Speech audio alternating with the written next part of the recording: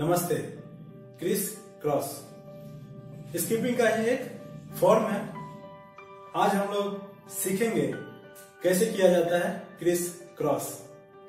मैं बहुत आसानी से समझाऊँगा और बहुत इजीली समझ भी आएगा।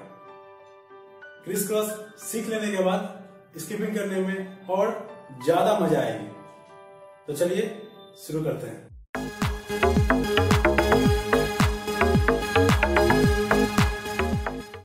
करते वक्त तीन चीज़ों का आपस में एक बैलेंस बना के चलना होता है।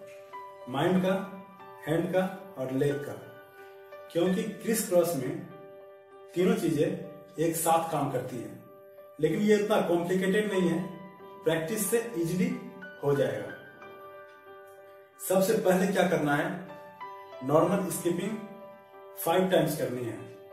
One two three four five five जैसे हो गया, उसके बाद हैंड को क्रॉस करना है। बिल्कुल इस तरह से।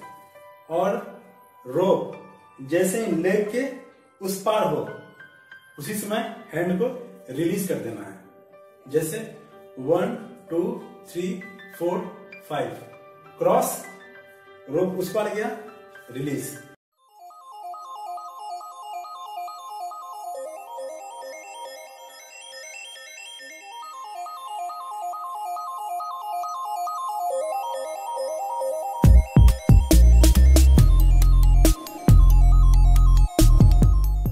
इसी तरह से स्टार्टिंग में करनी है।